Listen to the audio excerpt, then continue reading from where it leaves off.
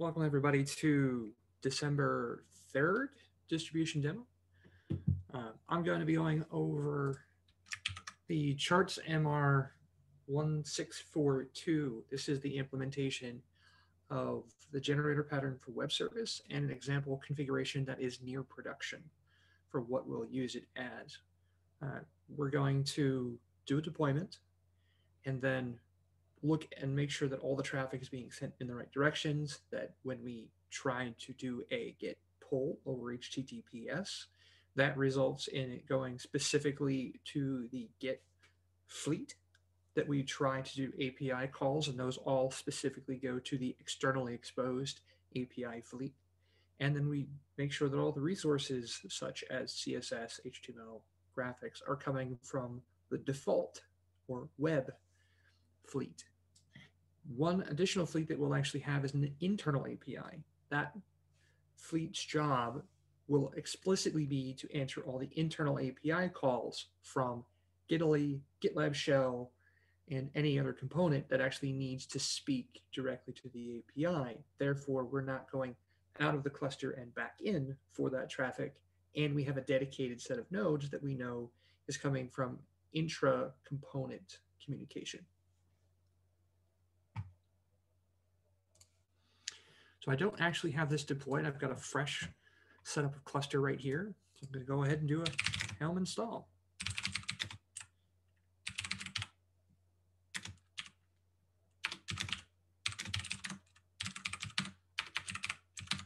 Pull in my default configuration. This has my domain configuration, cert manager, etc.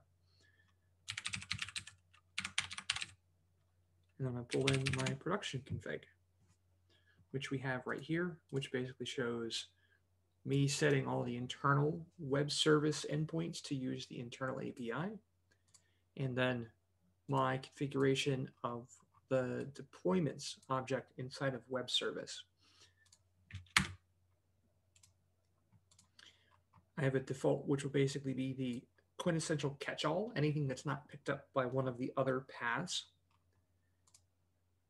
the API, which will catch anything that's under slash API, Git, which actually comes from a comment in this MR from what we were doing for past testing, although I can't find the comment at the moment. So this is a, a complex regex path that is used and consumed by Nginx that allows us to pull all of the specific ones. We actually use this now for the HTTPS fleet in production. And then the last one I have here is internal API. And the one thing I want to call out here is that you'll notice that path, while present, is explicitly nil. That means that it will not create an ingress resource and it will not be exposed outside of the cluster through the Nginx.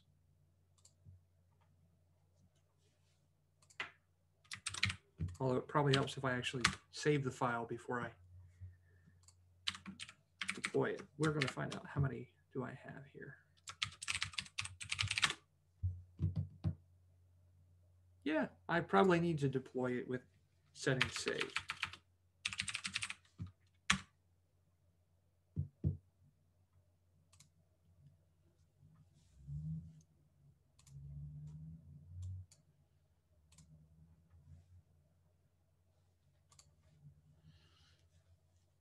Should end up seeing is a deployment, a service, and an ingress HPA and disruption budget for each of these individual web service deployments. Um, we're not currently separating out the config map. We're not currently separating out the network policy or any other item that is not justifiably needed to be generated for every single deployment. It's not that it's not possible to do excuse me, not possible to do so. It's let's not change more things than we absolutely must for a first iteration. And as this is already a very complex set of changes, the impact is large. So let's minimize that until we need to make further changes.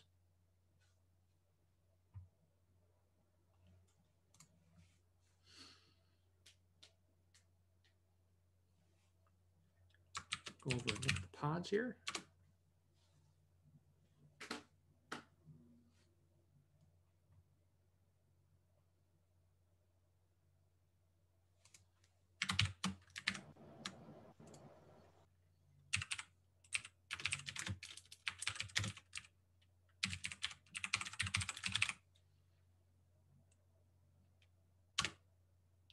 going to go ahead and run Stern and this is actually selecting all because all I did was use the app label. So every pod that is in the web service chart will have the app equals web service. I could pull out a specific one by actually using a label that is declared for uh, each individual deployment. We do that actually by an additional label that's added based, here we are, based on which web service fleet that you're actually going to get. So if I wanted to do the same thing,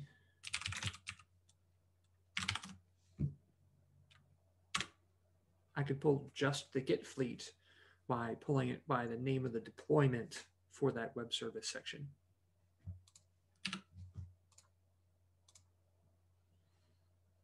Okay, we appear to be almost all the way up and running. We have enough pods that we can answer questions, or I should say answer queries through the browser. So let's go ahead and give that a shot at this point.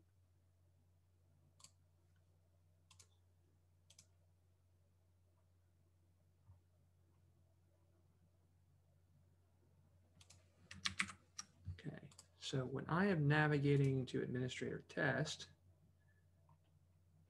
we're seeing that most of the traffic is going through default, and there are some requests that go through API.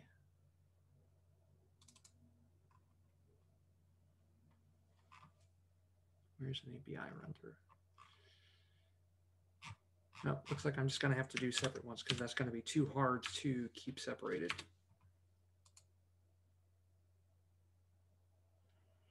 One second.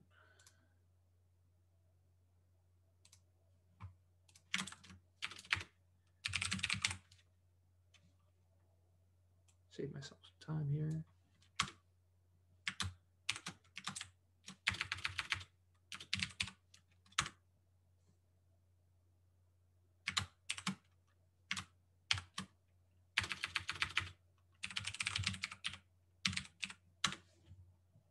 There we go.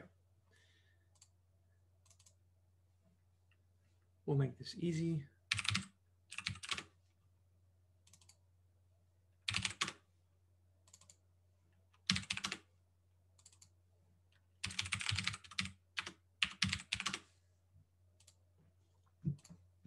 There we go.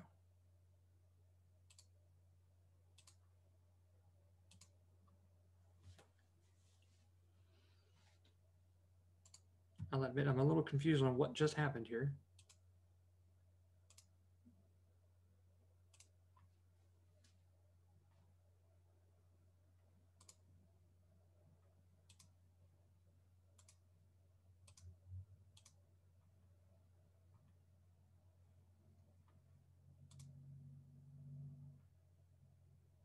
This is all just readiness checks because this is the Git fleet. Shouldn't be getting any real traffic. API is getting some calls, as you can see here.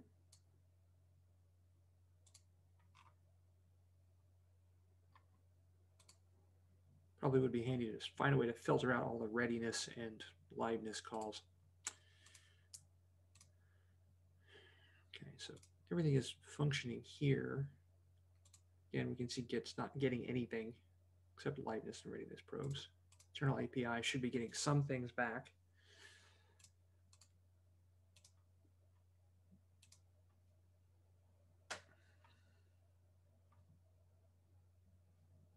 Is this me or is this master being weird?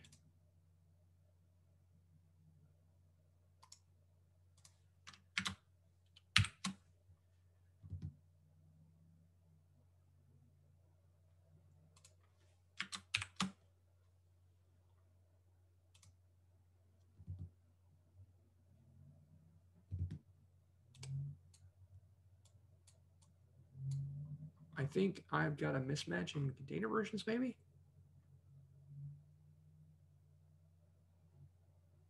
Because I've got at least something that's not pulling an asset. I'm getting 404s from multiple pieces of JS.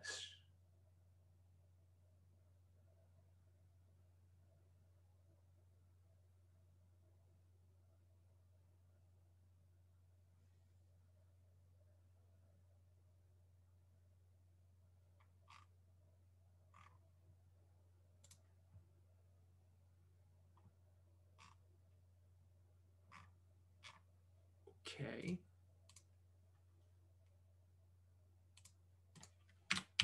I'm gonna double check my values. Make sure I have image pull policy set, just in case I'm running somehow mismatched versions of workhorse and web service containers.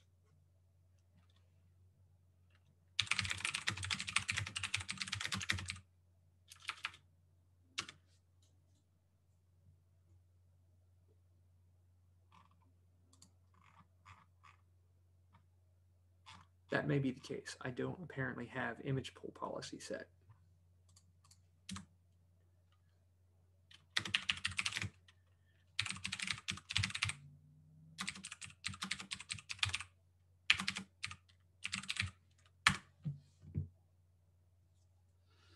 Let's just get fresh containers.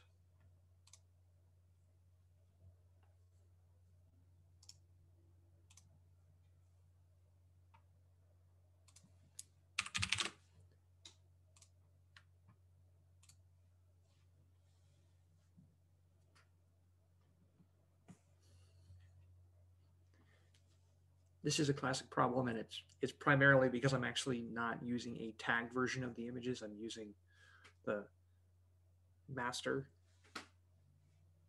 because the nodes will think that they already have that image without pull policy always.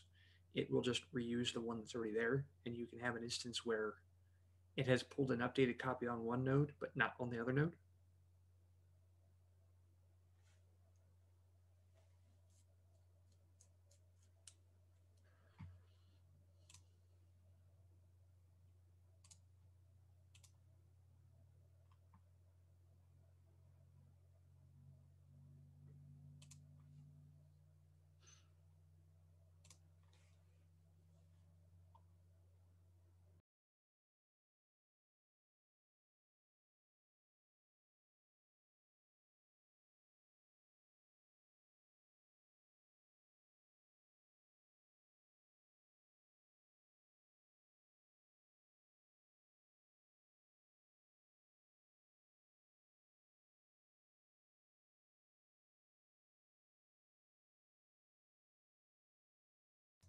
Of course, now we just wait for it to roll all the containers and Rails to start up because we know that takes a minute.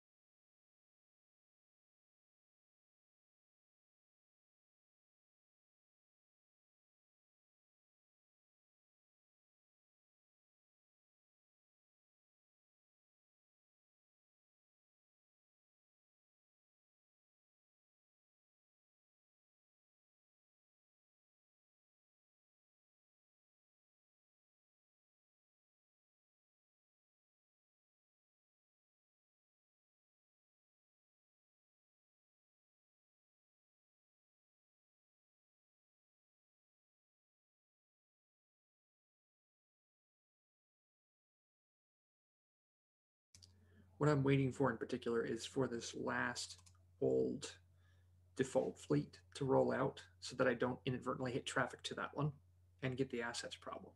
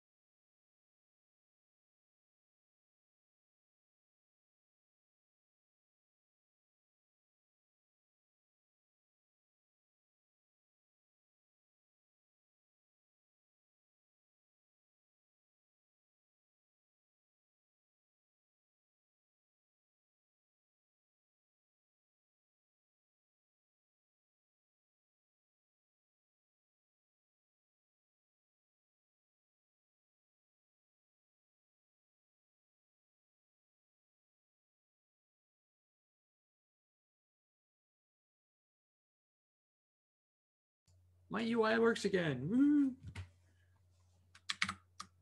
Okay, so apologies for that delay. Now then, the things that we're going to be looking for are who gets the traffic on the API and who gets the traffic for default from the UI itself. If I navigate into integrations, we should see a bit of traffic come across on the default to get all the assets. Internal API should have gotten a request.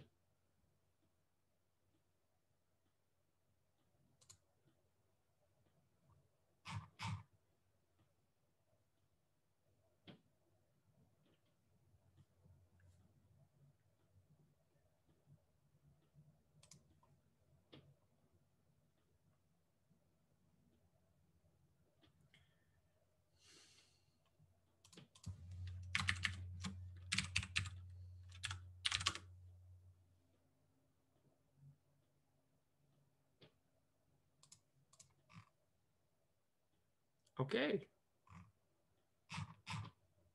That definitely should have gotten a request. Why it didn't show up, I don't know. We'll look at that in a minute. Oh, because I'm looking at internal API.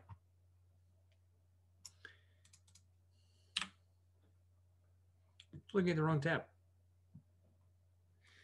So you can see here, API v4 definitely goes there. And a bunch of stuff happens when you actually load a projects page.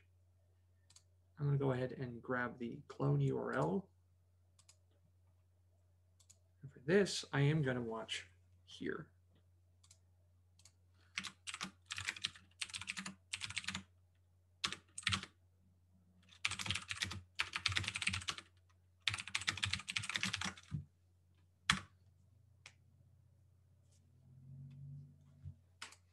That HTTPS request should have resulted in Git getting the fleet request here.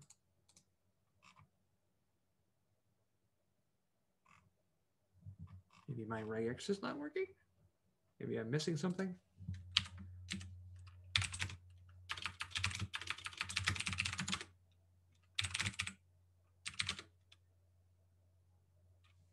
Who got the request? Default ended up with a request. Okay, we'll have to figure that one out. We may have a regex issue.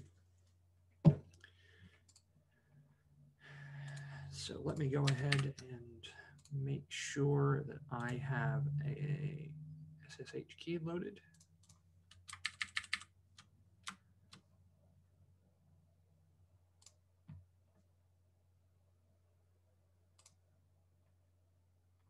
I do.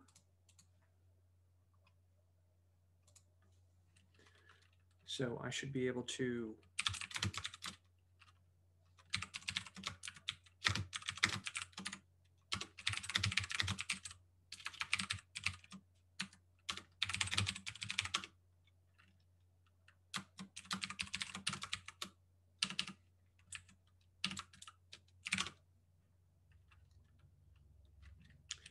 I do need to change my remote though.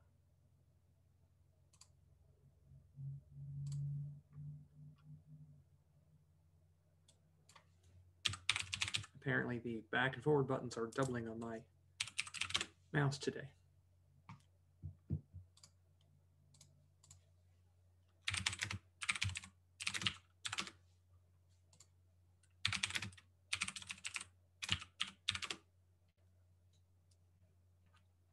There it is.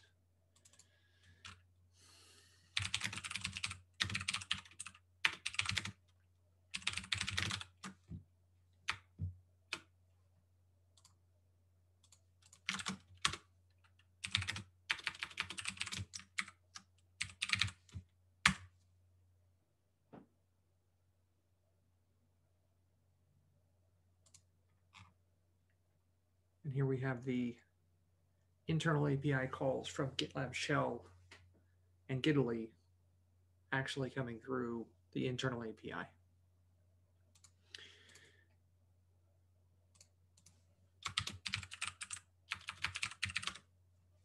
Okay, so as I mentioned earlier, there are ingresses that are defined. What we can see here is that there are three of them that are defined on the GitLab hostname.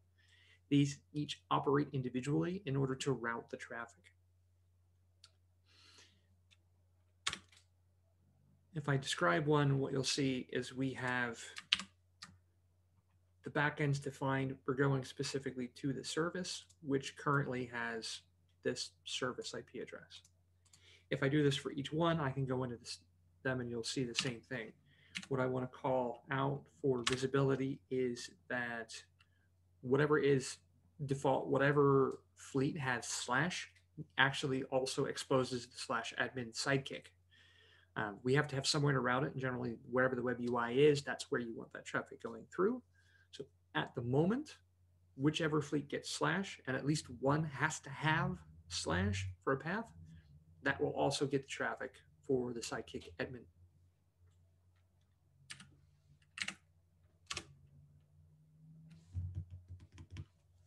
So this is the one thing that I'm going to have to look into. It'll need a little investigation. Uh, when I was testing this prior, I was just doing the direct match on effectively this set of the regex that's present. Um, I can flip that and we'll see if that fixes everything or not. But my expectation at that point is that I just didn't have it. I don't have the right regex in place or it's malformed in some fashion and Nginx is not happy with it. Um, because I know that I definitely was seeing Git traffic going to a single place before. Anybody have any questions, observations?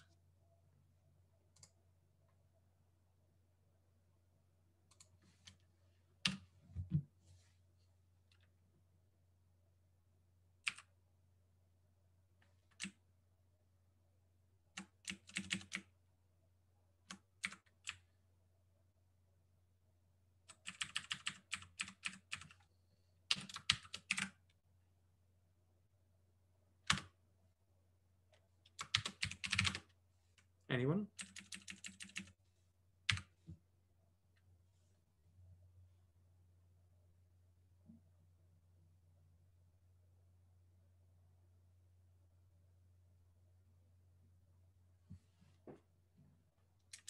Okay, what I've done is manually edited that ingress. I didn't edit the chart config just to speed up the process. And hopefully this uh, API path or this path will be more correct than the one that we were seeing that had a problem. I've pulled up the logs from the ingress controller just to make sure that we see that it gets reloaded and we'll be able to figure out turning on log wrap and make it full screen.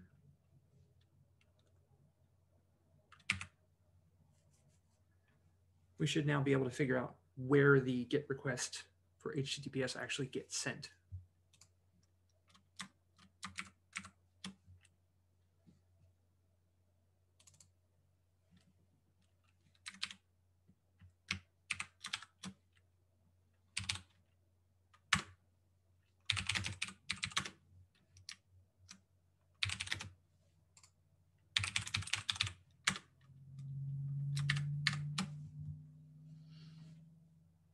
Okay, so these are the GET requests that should have triggered to go through the Git fleet.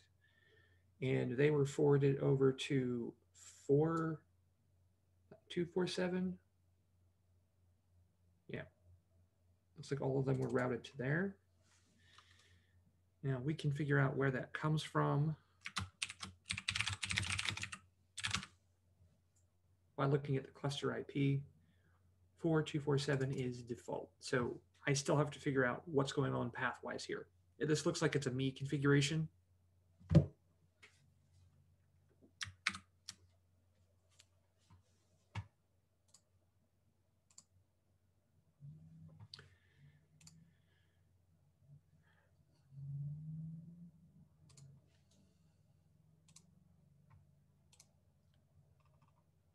Does anyone have any questions or comment about the size of the impact on this or why this is we're doing something that is this large?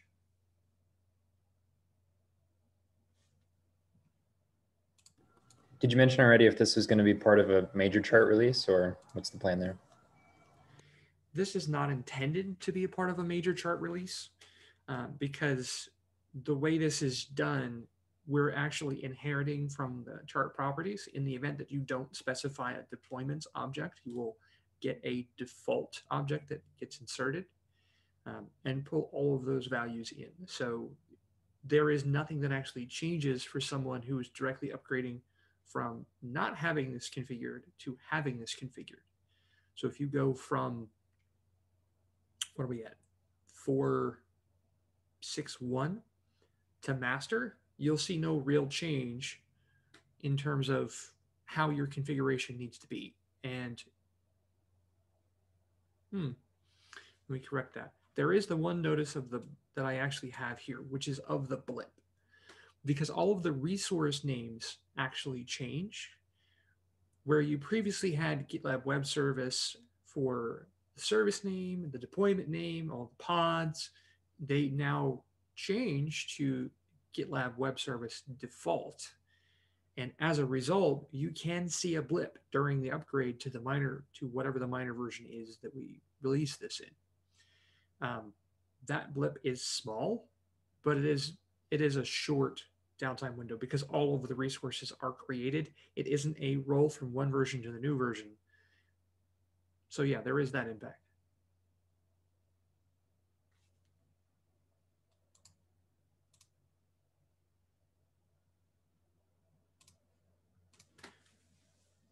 Okay, from the, the maintenance standpoint,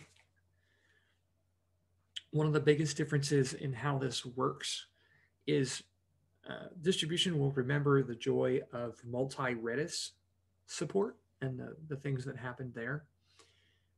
Maintaining that functionality and figuring out a way to do it at the time was done in a short period and not necessarily an easy to follow methodology on, on how it works in an attempt to deal with that, uh, what we've actually done here is take the properties, template them into YAML, and then actually read that YAML back in.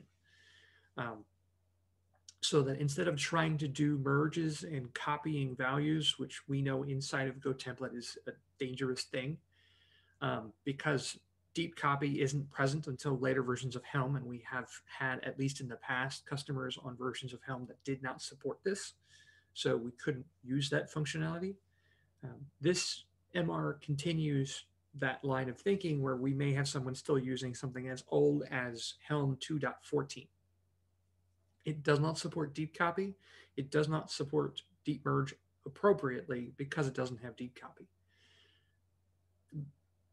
add to that the fact that deep merge uh, doesn't have the ability to actually pull a quote empty value from the source. So if you have the chart level setting set to true, but then you have an individual deployment with a value set to false, the false would actually always lose because it's considered empty. The implementation that's done here does two things we add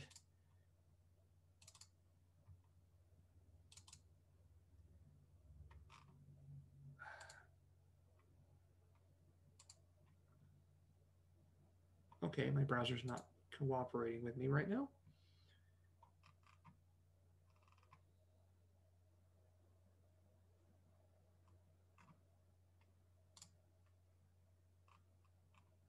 We actually are adding a template in here that's called data model.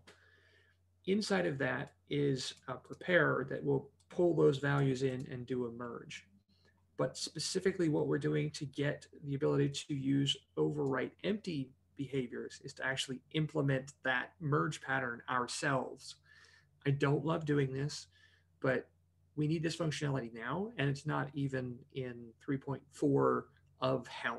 So that would be dragging people all the way up to the latest version, which they're probably not ready to do. And it requires additional changes to Sprig. So we would actually have to go three layers deep in API there to get this functionality. So in order to get this done now, we've actually done this. And what we do is we actually do a from YAML on include to get the data model blank. The data model blank is what actually pulls in the values from the upper chart. Um, one nice thing about this is it actually allows us to relocate certain properties to be better structured. And then we turn around, read that back into an object from YAML, and then merge the settings provided by the user with this blank that is the inherited values.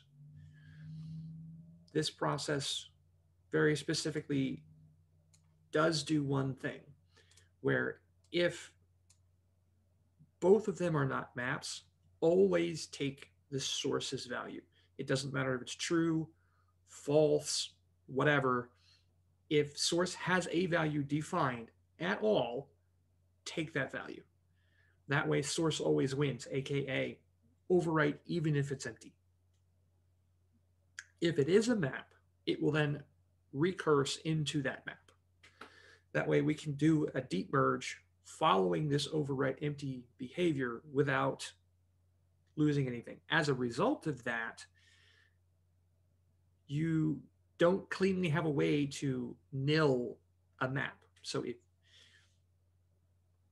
that merge will always happen with all the keys. You can't overwrite the map. You either have to nil it or not inherit anything, which means not defining it at the at the parent chart.